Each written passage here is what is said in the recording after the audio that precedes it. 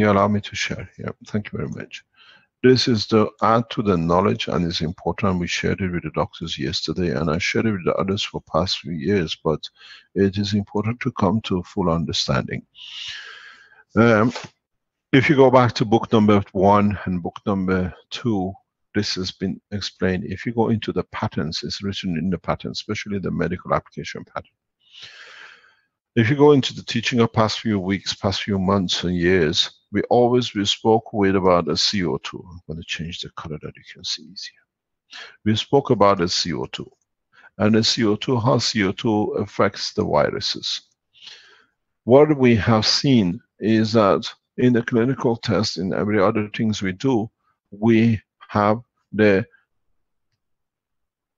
let's say Ebola or HIV as a virus, as we explained in other teaching, this with this viruses, you have the amino acid and you have a backpack energy, which we call it the viruses. Depending on its strength, we have given them different names. But in fact, what is important is that this amino acid inside, which is your NOH, Mr. Cohen, is always the same. We saw how, because of the dynamic shape of the plasma in interaction with this material, we have managed to change its strength and in a way we see the end, how it works and how it has interacted. We seen that's why the um, gases are very effective in respect to viruses. One of the points which has been a stumbling block and we had to look into to explain and it's been explained in many of the teaching is that what do we do with problems, microbes, germs, parasites, which are amino acid based.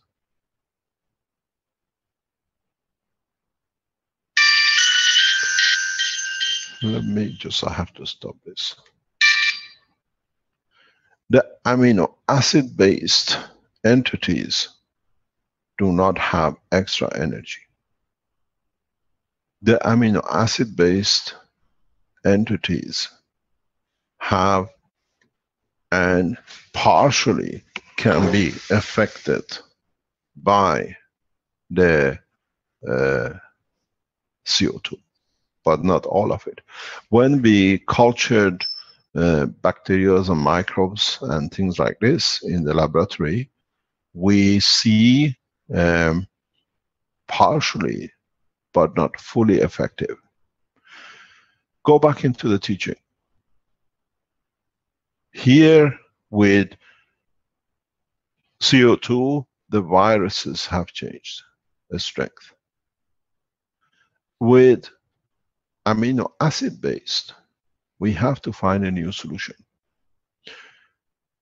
We cannot touch the carbon because it just changes the line of communication. We cannot change the oxygen because it's the holding.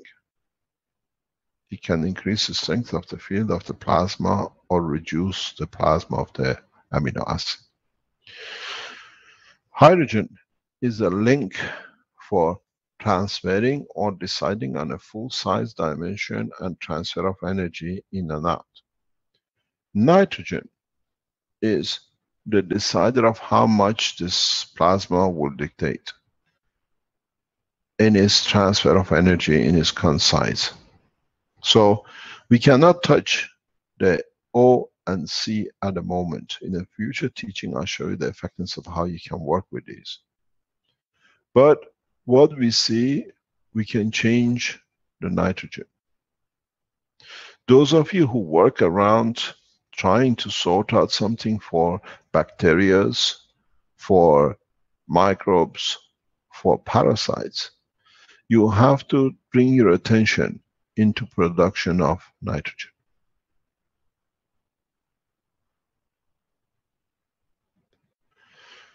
You can do two ways you can use nitrites to create nitrogen oxide or to create uh, energy that you can interact with nitrogen that you can handle microbes, parasites and bacteria. Because these are earthly dependent, so you have to dictate the condition of the earth which dictates their size and the position.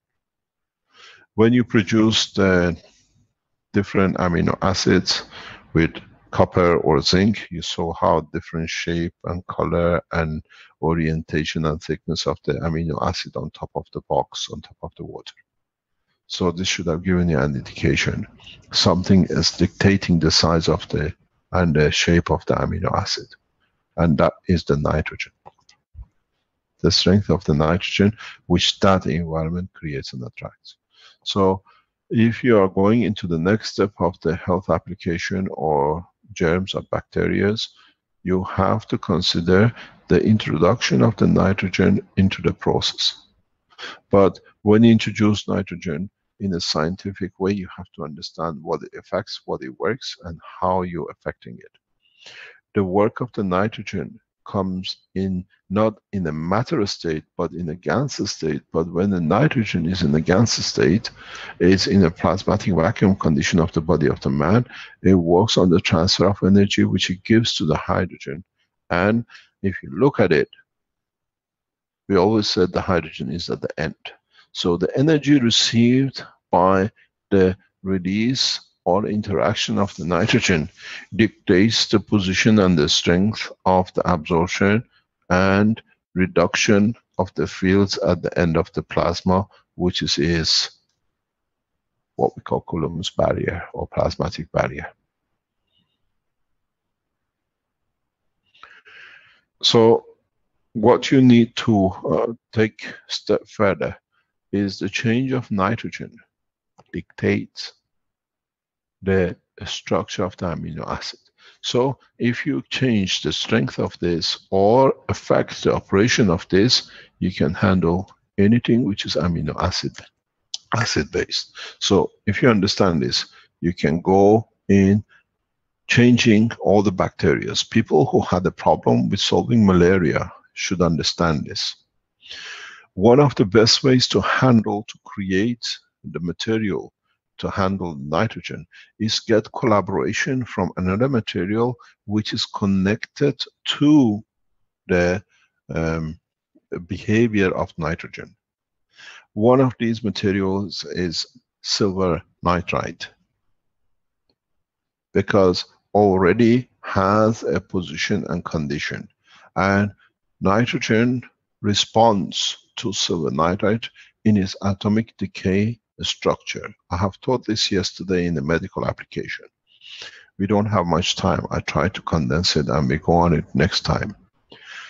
The reason for it and the operation of it, next teaching, I'll go into it in depth. But for the time being, till next week, I would like to explain to you how this works and how it's effective. Those of you who handle parasites, those of you who handle microbes and bacterias, you have to look into existence of nitrogen and the centralization of it. It's in the book one.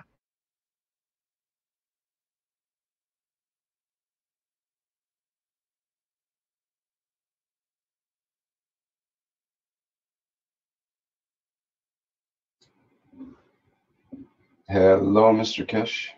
Hello. We lost his Okay. connection, but he's still on the list of uh, panelists. Yeah, and it's still showing that. Whoops, Uh-huh. the video. Oh, no. It, it was a dropout there. Yeah. Okay. Hello. Hello again. I'm back again, yeah? Yep. Okay, you just I stopped. I stopped when you fell out. When I fell out, I stopped. I could see it. So Yep. what, what we see is that we need to add to the knowledge that all of us understand the work of the bacteria and microbes and parasites. This is why some of you have a success with parasites, with malaria, and some of you don't. Some of them have problem with the infection, some of you don't. It depends on what strength you used and you chose to interact with the nitrogen. Uh, on next week's teaching, we'll go in depth in this because that's a new opening in the world of science of medicine and the operation of the body. You need to know it for deeper space because without it, you will have a huge problem to sustain the body of the man in the space and in his own total integrity.